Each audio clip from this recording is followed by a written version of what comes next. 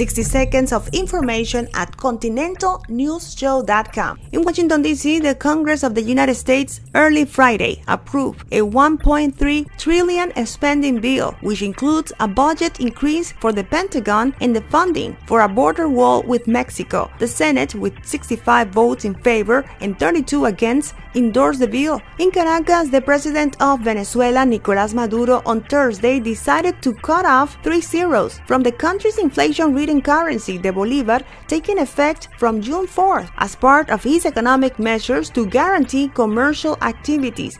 In Bangkok, around 270,000 people are still in need of urgent humanitarian aid in Papua New Guinea almost one month after a 7.5 magnitude earthquake struck the country and killed more than 100 people, the United Nations said Friday. For more information, visit continentalnewsshow.com.